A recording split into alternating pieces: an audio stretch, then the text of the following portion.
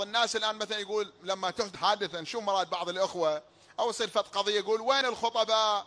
وين العلماء؟ وين طلبة العلم؟ ليش ما يحشون؟ أحبائي نحن نتحدث لست ادافع لكن هذا واقع نتحدث بكل شيء لكن يا إخواني الطرف الآخر هو أنت يعني أنا لما أتحدث لا يعني أني أصلحتك إنما عرضت عليك ما يصلحك النبي صلى الله عليه وسلم لما بعث وكان يرشد الأمة فهناك من اتبع قوله مثلكم أنتم فبشر عباد الذين يستمعون القول فيتبعون احسنه وأكو ناس لا هؤلاء سمعوا ولم يستمعوا ولذلك نكصوا على العقاب بعد وفاة النبي صلى الله عليه وسلم يعني عصوا.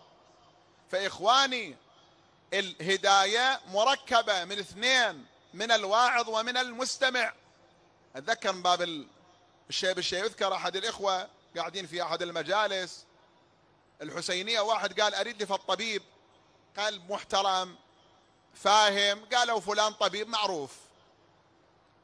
فذاك الطرف إيش قال؟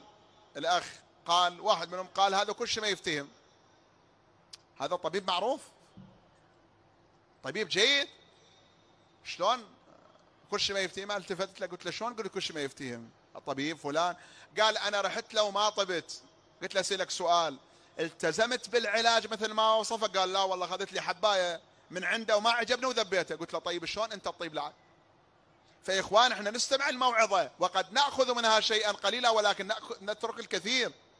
ولذلك القرآن يقول فبشر عباد الذين يستمعون القول فيتبعون. يستمعون فيتبعون. يتبعون عن شنو؟ يرتبون الاثر فيتبعون بعد شنو؟ يتبعون أحسنه. يتبعون